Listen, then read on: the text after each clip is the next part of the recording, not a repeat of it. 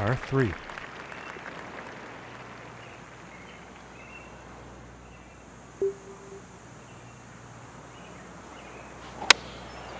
I think that's a five iron.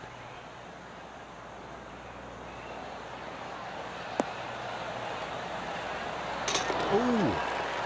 And ladies and gentlemen, we have just witnessed the remarkable. A hole in one. And he's going to